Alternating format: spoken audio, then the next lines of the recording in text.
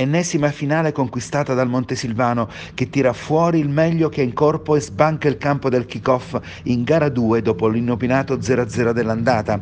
Un 9-2 che parla da sé e dice di tutta la forza di un gruppo che troppe volte avrebbe meritato di ottenere di più, ma la volontà non sempre basta. Stavolta non c'è stata storia e gli abruzzesi riescono a esprimersi secondo effettivo potenziale. A sbloccare dopo 5 minuti è Lucileia, l'intramontabile che va verso i 40 e che di gol ne metterà a segno alla fine 3.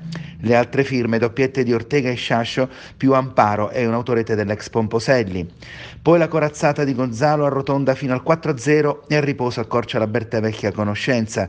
Ripresa ancora a senso unico e capitolo chiuso trionfalmente. E ora si punta allo scudetto, sia pure contro l'imbattibile Falconara che ospiterà le Montesilvanesi domenica 6 in gara 1 con o senza il Colosso Tati per poi giocare al Palarigopiano gara 2 domenica 13 giugno. Eventuale bella in terra marchigiana domenica 20.